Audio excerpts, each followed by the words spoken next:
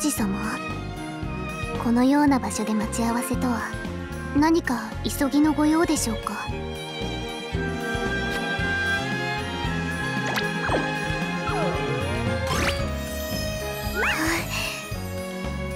覚えていてくださったのですね。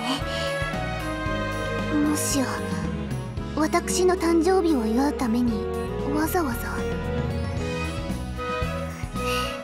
本当に本当にありがとうございます。日々主様とお過ごしできるだけで幸せなのに。そのようなお言葉もいただけて今日はとても素敵な一日になりそうでございます。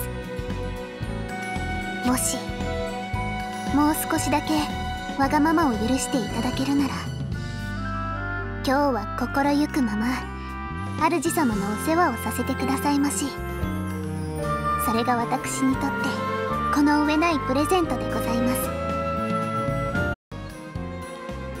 こちらこそよろしくお願いいたします。はてどうして急にそのようなこと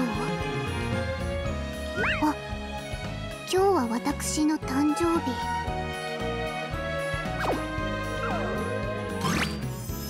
これから先のことを改めて言葉にしていただいて。嬉しく思います。これからも。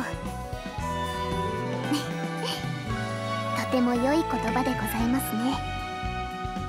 もしもう少しだけわがままを許していただけるなら今日は心ゆくまま主様のお世話をさせてくださいまし。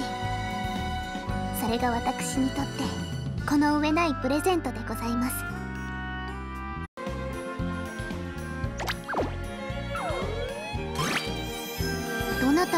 贈り物でございましょう。え？私に？あ私の誕生日を覚えていてくださったのですね。ありがとうございます。主様と一緒にいられるだけで十分幸せなのですがそのような心遣いまでしていただけるなんて。もしもう少しだけわがままを許していただけるなら今日は心ゆくまま主様のお世話をさせてくださいまし。それが私にとってこの上ないプレゼントでございます。